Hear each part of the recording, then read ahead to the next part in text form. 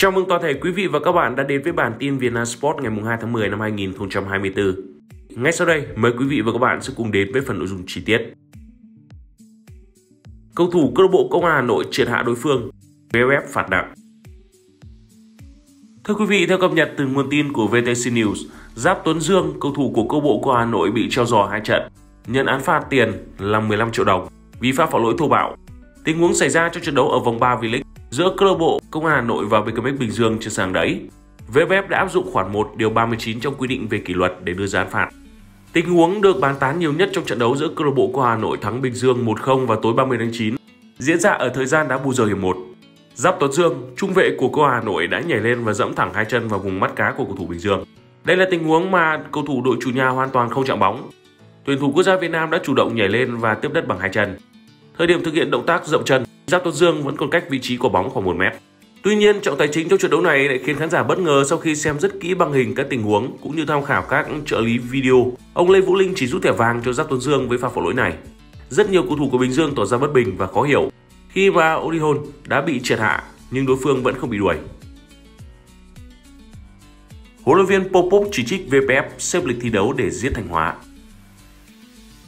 Tối ngày 30 tháng 9 thì Thanh Hóa đã thắng ngược Hải Phòng 3-1 ở vòng 3 V-League trên sân nhà.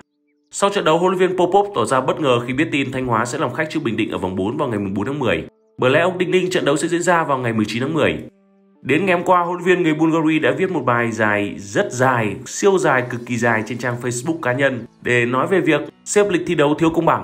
Ông khó hiểu khi cơ bộ của Hà Nội cũng thi đấu cúp câu lạc bộ Đông Nam Á như Thanh Hóa. Nam Định thi đấu AFC Terrace 2 nhưng được chuyển sang thi đấu vòng 4 ở ngày 19 tháng 10. Trong khi đó thì Thanh Hóa phải thi đấu liên tục 3 trận trong 10 ngày, lần lượt gặp cao thủ Terengganu ở Malaysia ngày 25 tháng 9. Tiếp đó họ đấu Hải Phòng vào ngày 30 tháng 9 và gặp Bình Định vào ngày 4 tháng 10. Ông Popo cho rằng VPF đã vi phạm nghiêm trọng các nguyên tắc công bằng, chơi không đẹp khi thay đổi lịch thi đấu của Thanh Hóa. Đội chơi 6 trận, nhiều hơn các đối thủ khác 3 trận. Chúng tôi phải đá ngày 4 tháng 10, nhưng bốn đội khác được nghỉ ngơi và chơi thoải mái vào ngày 19 tháng 10. VPF thể hiện tiêu chuẩn kép, cố gắng giết chết một số đội như Thanh Hóa và như thường lệ, giúp các đội khác mạnh hơn. Không chỉ dừng lại ở lịch thi đấu, huấn luyện viên người Bulgaria thậm chí chuyển hướng sang chỉ trích cả VFF và VPF đang phá hủy bóng đá Việt Nam vì quản lý yếu kém. Ông cho biết đã kiên nhẫn đến giới hạn, vì vậy quyết định phá vỡ sự im lặng sau 2 năm câu lạc bộ Thanh Hóa chịu rất nhiều những quyết định thiếu công bằng. Khi được hỏi về vấn đề này, một đại diện của VPF cảm thấy khó hiểu trước phản ứng của huấn luyện viên Popov. Ông cho biết việc lịch thi đấu thay đổi đã được thông báo đến tất cả các đội. Câu lạc bộ Thanh Hóa cũng đã được thông báo đầy đủ về lịch, những thay đổi nhưng huấn luyện viên trưởng lại không nắm được. Theo vị này, ngày 14 tháng 8 thì VPF đã ban hành lịch thi đấu V-League 2024-2025 với thời gian cụ thể từ vòng 1 đến vòng 9. Theo đó, vòng 4 dự kiến tổ chức vào ngày 19 và 20 tháng 10, trong đó có trận Thanh Hóa gặp Bình Định, Nam Định gặp Soam Nghệ An, Công an Hà Nội gặp Hà Nội FC. Tuy nhiên, VPF cũng cho biết lịch V-League có thể thay đổi sau khi tiến hành xếp lịch giải hạng nhất và cúp quốc gia, bên cạnh các lý do bất khả kháng. Quan điểm của VPF là tạo điều kiện tối đa cho các đội tham dự giải khu vực và châu lục, gồm cả Thanh Hóa, Nam Định, Công an Hà Nội, với thời gian giữa trận tối thiểu là 4 ngày. Đến ngày 12 tháng 9, lễ bốc thăm và xếp lịch giải hạng nhất và cúp quốc gia diễn ra. Theo đó, vòng loại cúp quốc gia sẽ được tổ chức vào 19 và 20 tháng 10, còn vòng 4 V-League chuyển đến ngày mùng 3 và 4 tháng 10. Câu lạc bộ Bình Định sẽ gặp Bình Dương vào 20 tháng 10 ở vòng loại cúp quốc gia. Dẫn đến trận gặp Thanh Hóa vào ngày 4 tháng 10 ở vòng 4 V-League không thể lùi lịch. Nam Định sẽ gặp Bangkok United vào ngày mùng 2 tháng 10 thuộc lượt 2 vòng bảng AFC Champions League 2. Trong khi đó, từ ngày 5 tháng 10, các giải chuyên nghiệp nhường chỗ cho đội tuyển Việt Nam tập trung chuẩn bị đá giao hữu với Ấn Độ vào ngày 9 tháng 10, Liban vào 15 tháng 10. Vì vậy, Nam Định sẽ gặp Sông Nghệ An ở vòng 4, được chuyển từ ngày 4 tháng 10 sang 19 tháng 10. Trận Công Hà Nội gặp Hà Nội ở vòng 4 cũng phải hoãn từ mùng 4 đến 19 tháng 10. Nguyên nhân là Sở Văn hóa và Thể thao Hà Nội xin phép dùng sân hàng đẩy tổ chức giải giao hữu bóng đá nữ từ ngày 1 tháng 10 đến mùng 7 tháng 10 để kỷ niệm 70 năm ngày giải phóng thủ đô. Ngày 16 tháng 9, VPF đã gửi văn bản thông báo thay đổi lịch chi tiết đến các đội, bao gồm cả Thanh Hóa. Dù lịch thi đấu dày nhưng Thanh Hóa đã đứng thứ ba ở V-League mùa giải 2024-2025 với 6 điểm. Thanh Hóa phải thi đấu vòng 4 ngày 4 tháng 10 nhưng sẽ được nghỉ đến 26 tháng 10 mới thi đấu vòng 5.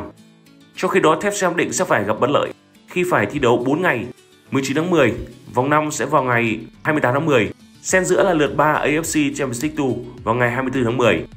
Trước đây cả VFF và VFF cũng chịu nhiều chỉ trích khi thường cắt ngắn thời gian tổ chức các giải câu lạc bộ để thời gian tập trung cho đội tuyển quốc gia và U23 Việt Nam.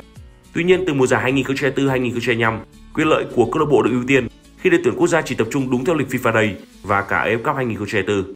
Vì vậy các câu lạc bộ nếu không tham gia giải đấu quốc tế sẽ thi đấu với tần suất trung bình mỗi tuần một trận.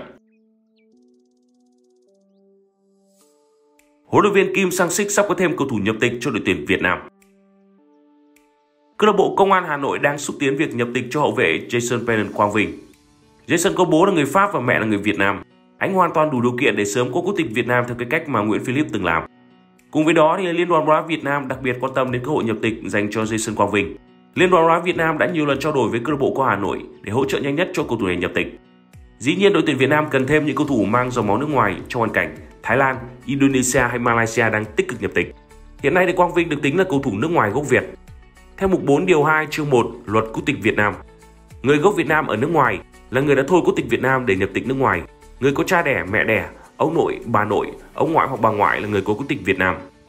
Jason Quang Vinh từng được định giá lên đến 900.000 euro vào năm 2020. Sau giai đoạn thi đấu có phần xa sút, Quang Vinh chỉ được chuyên trang về chuyển nhượng cho format định giá 500.000 euro. Jason Quang Vinh sở hữu bản lý lịch ấn tượng. Anh nhiều năm thi đấu ở Pháp cho câu lạc bộ Sochaux tại Ligue 1 và khẳng định được năng lực của mình ở hạng đấu dưới của xứ Lục Lăng. Huấn luyện viên Kim Sang Sik rất cần phương án ở vị trí hậu vệ trái. Trước đó Đoàn Văn Hậu gặp chấn thương nặng và không ra sân thi đấu trong suốt 2 năm qua. Nguyễn Phong Hồng Duy sa sút và chưa thể hiện được năng lực của mình khi lên đội tuyển Việt Nam. Hai câu lạc bộ Philippines và Trung Quốc đến Việt Nam tham dự giải tứ hùng. Hướng tới việc chào mừng kỷ niệm 70 năm ngày giải phóng thủ đô, Sở Văn hóa và Thể thao Hà Nội, Liên đoàn bóng đá Việt Nam, Liên đoàn bóng đá Hà Nội và Công ty cổ phần thể thao Hà Nội TNT đã phối hợp tổ chức giải bóng đá nữ quốc tế Hà Nội mở rộng 2024. Giải đấu sẽ khởi tranh từ đầu tháng 10 và quy tụ 4 đội bóng bao gồm câu lạc bộ Manila Digger đến từ Philippines, câu lạc bộ Bắc Kinh Trung Quốc, câu lạc bộ Hà Nội và câu lạc bộ Thái Nguyên TNT. Các đội sẽ thi đấu vòng tròn một lượt để tính điểm và xác định thứ hạng. Giải bóng đá nữ quốc tế Hà Nội mở rộng 2024 sẽ diễn ra từ ngày 1 đến 8 tháng 10 trên sơ động hàng đẩy. Theo kế hoạch, lễ khai mạc sẽ diễn ra vào lúc 15 giờ 30 ngày 3 tháng 10. Nhằm chuẩn bị cho giải bóng đá nữ quốc tế Hà Nội mở rộng 2024, câu lạc bộ bóng đá nữ Thái Nguyên TNT đã tiến hành bổ sung hai vị trí: huấn luyện viên trưởng Văn Thị Thanh, huấn luyện viên thủ môn Đặng Thị Kiều Trinh. Bên cạnh đó, nhằm gia tăng sức cạnh tranh, câu lạc bộ Thái Nguyên đã mượn hai tuyển thủ Việt Nam đó là Tuyết Dung và Trần Thị Duyên. Trong đó, việc bổ sung huấn luyện viên trưởng Văn Thị Thanh được xem là nổi bật nhất. Thưa quý vị và các bạn, chi tiết vừa rồi cũng đã khép lại bản tin Vietnam Sport ngày hôm nay của chúng tôi. Cảm ơn toàn thể quý vị và các bạn đã quan tâm theo dõi. Xin chào, hẹn gặp lại ở những bản tin tiếp theo của Vietnam Sport News.